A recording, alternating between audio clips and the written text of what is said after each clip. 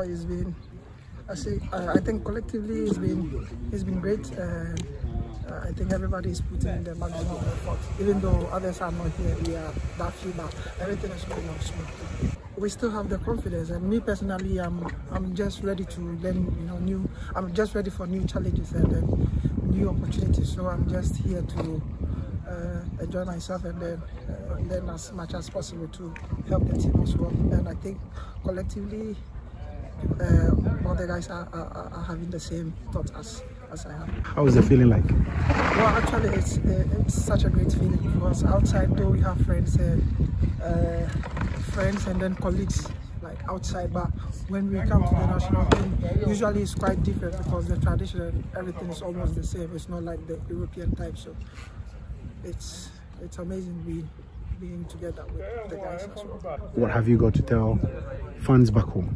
I think they should keep supporting us and then uh, also pray for us and then just enjoy the game. And with God, everything is possible, so they should just keep praying and then let's leave the rest to God.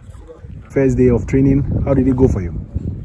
Yeah, it was a little bit intense because um, I traveled yesterday and I, I, I came back really at dawn, so I think it was just exhausting, but it was, it was a good training. It's a great opportunity for me, and I just have to stay focused, and I just have to work hard, and yeah, um, hopefully God being so good, everything's going to be fine, and yeah, we see the way forward. Are we to look forward to you replicating the same form in the national team? I mean, uh, it's actually a different, a different group, different group of players, and yeah, there are totally different players from different clubs. So it's not really compared to the to my my, my club, but seeing the qualities of, of the players here, I think, uh, uh, and the help of the players, I think we're gonna have a great a great game and a great time here.